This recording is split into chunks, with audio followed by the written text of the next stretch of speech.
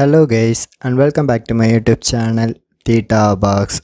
So today I will show you how to delete your Discord account by using your PC and also I show the steps for mobile app users. So anyway let's go to our tutorial.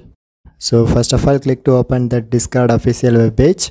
So now in this home page section in bottom of left side it has one gear icon. So simply you can press on it and this will help you to access your settings menu.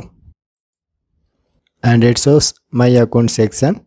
So simply you can press edit option. So finally i get to the account delete option. And this is for pc users. So next method is by using the mobile application. So just open this discord mobile application in your android mobile or ios device. And then complete your login processes so once your account is ready, now in this home page section, in bottom it shows some icons. So here you can press that final one. So here you can go to my account. So finally I get the delete account option and it is placed at the bottom. So once you press this option, all your personal data are removed impermanently. So this is the way you can easily delete your Discord account by watching my tutorial.